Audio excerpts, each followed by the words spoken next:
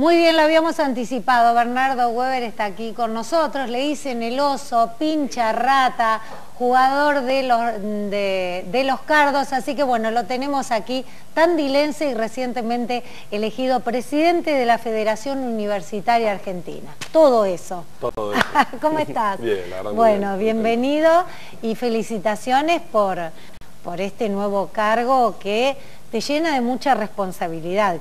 Sí, sin duda, es una, responsabilidad muy grande, más en el año que toca y hoy se, cumplen 100 años de, la reforma universitaria, digo que es el precedente o, lo que se sienta a la Universidad Pública Argentina, digo, 100 años de la fuga, digo, todo, todo eso requiere o genera muchísimo trabajo para estos dos años que se vienen, así que nada, un orgullo muy grande, pero una responsabilidad también. Una responsabilidad a la vez, dos años que va a durar tu mandato, ¿y cómo llegaste a, bueno, a ganar y a presentarte en esto? ¿Vos militabas? Yo milito en la Franja Morada, eh, yo arranqué, bueno, yo me fui a estudiar a los 17 años a La Plata, estudié Derecho, yo hice todo mi proceso de militancia, fui consejero directivo, consejero superior, participé en el centro de estudiantes, fui secretario general de la Franja Morada de La Plata, es decir, coordiné la Franja Morada de toda la ciudad y nada, proceso de, política, mis compañeros me eligieron para, ser el próximo candidato a presidente de FUA y hace dos semanas me eligieron en, Rosario. Por ahí nosotros lo sabemos, pero la gente se pregunta, ¿qué hace un presidente de FUA? ¿Qué hace? ¿Cuál es la tarea que tiene en los próximos dos años? La FUA es el órgano gremial que nuclea a todos los estudiantes universitarios del país. Es como, si lo queremos comparar a algo, es lo más parecido a un gremio, como la CGT, la CTA, las diferentes De toda la Argentina. Representamos cerca de 2 millones de estudiantes universitarios a lo largo y a lo ancho del país, que va desde la Universidad de Tierra del Fuego hasta la Universidad de, Jujuy. Caíste, ¿no? Que tenés ese puesto. Sí, sí, es bastante. Cuando terminamos de sacar la cuenta y la cantidad de estudiantes que, eran, la verdad que es, impresionante y, nada, la verdad que te, llena de orgullo, digo, que tus compañeros, digo, que los propios compañeros del día a día te den esa posibilidad, digo, todo lo que significó el proceso político, todo lo que fue llegar hasta ahí, yo arranqué con 17, 18 años militando en Y que ahora tiene 27, es muy joven, quiero decir, y este, bueno, este, este cargo que eh, interviene en lo que tiene que ver con la educación, con el futuro, con los proyectos, con este cambio que se le quiere dar eh, bastante profundo a la educación? Nosotros somos uno de los actores principales en los debates de la educación superior, pero también de la educación en Argentina en general. Participamos de diferentes instancias, discusión con, el resto de, los gremios, ya sea el gremio docente o el no docente, pero también con el ministerio y con los diferentes actores del Ministerio de Educación. Digo, el lunes post asumir nos juntamos con, con Finocchiaro, el ministro de Educación de Nación. Anoche lo escuché en una entrevista muy interesante y hablaba de este cambio que se viene, que están trabajando, que si bien aún no está presentado, digo, han llamado a los mejores profesionales del mundo para realizar un plan bien argentino, que tenga una identidad, eh, están queriendo hacer toda una movida desde las bases de la educación. ¿Estuviste hablando de eso? Estuvimos hablando un poco de, lo que es el sistema de educación en la Argentina. Yo creo que, Argentina tiene uno de los sistemas universitarios más mejores del mundo, digo, de los mejor posicionados. Tenemos hace 100 años consagramos una universidad pública, gratuita, laica, cogobernada, con una autonomía muy fuerte, garantizada en la Constitución Nacional. Digo, todos esos preceptos hacen que, la educación en Argentina sea del prestigio que tiene. Digo, tenemos cinco premios Nobel, son todos graduados de la Universidad Pública Argentina. Creo que, tenemos que ir un proceso de, rediscutir la enseñanza en Argentina, creo que hay que, que, ayornarla y avanzarla a los tiempos que se vienen sin perder de vista los preceptos o, las cosas que nos dieron origen. a lo mejor en lo, en lo que antecede a la educación universitaria hay que hacer cambios. Yo creo que hoy, hoy, es fundamental la articulación entre la educación secundaria y la universitaria, me parece que es uno de los ejes más importantes hay un Quiebre ahí, hay un quiebre.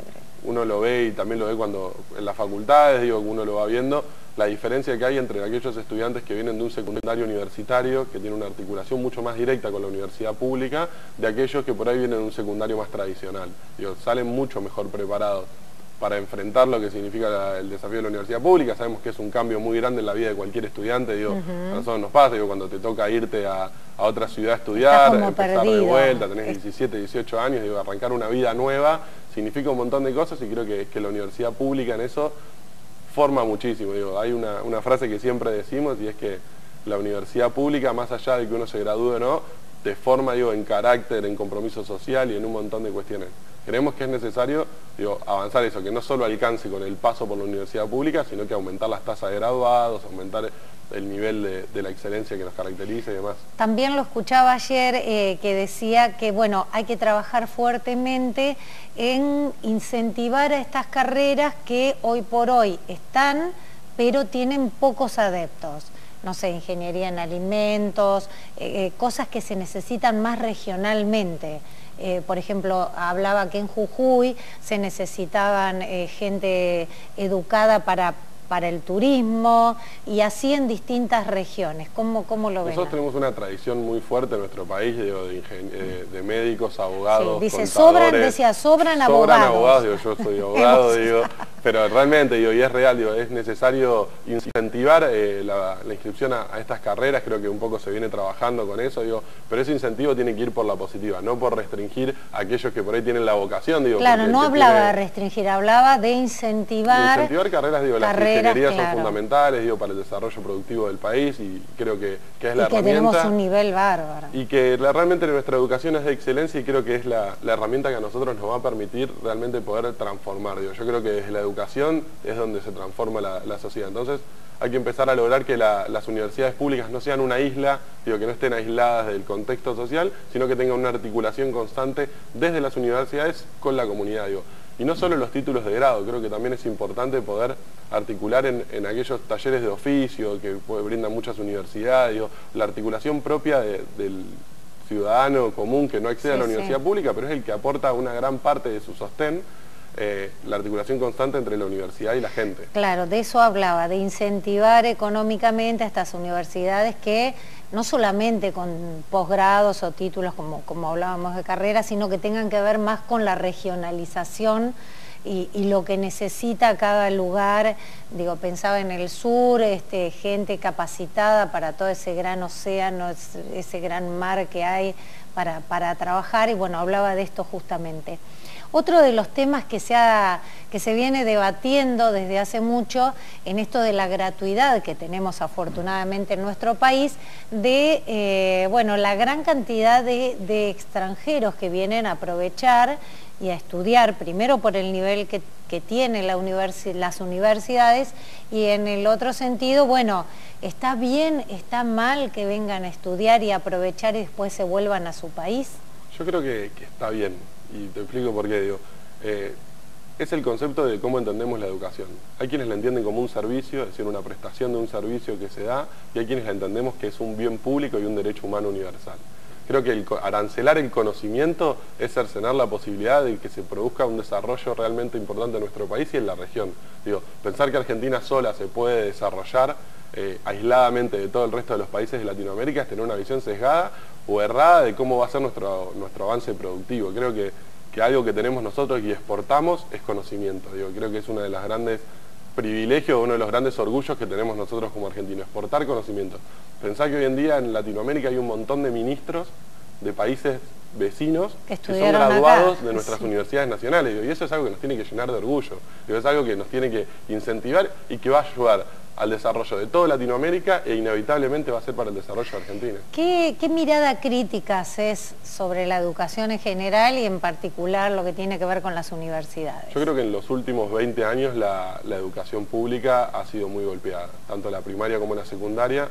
La universitaria, por su propia característica de la autonomía, ha, logrado mantenerse y ha logrado estar por encima de las privadas, pero vemos como la educación primaria y secundaria ha bajado el nivel y ha sido muy golpeada. En materia presupuestaria, hoy nosotros vemos cómo año tras año venimos discutiendo un presupuesto, en el caso de las universidades, que por ahí es lo que más me toca, que viene corriendo a la inflación, pero que no permite un desarrollo fuerte dentro de las universidades públicas.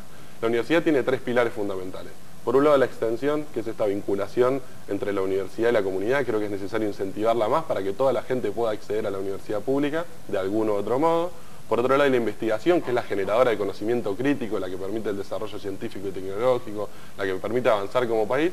Y por otro lado, jerarquizar la enseñanza, que es la de formar los profesionales de grado que nosotros queremos formar con la excelencia que siempre tuvo nuestra universidad. Bernardo, te agradecemos mucho la visita aquí a la ciudad y bueno, y cada vez que vengas a visitar familia, amigos. Te esperamos a que te des una vueltita por el canal para contarnos, bueno, cómo va avanzando este trabajo duro, por cierto, que te espera en los próximos dos años. Bueno, muchísimas gracias y sí, siempre a disposición para lo que se pueda. Muy bien, muy joven él, ¿eh? Bernardo Weber, mm, presidente electo de la FUA, es tandilense y va a estar a cargo, está presidiendo la FUA, que es una federación que tiene todos los estudiantes universitarios de nuestro país.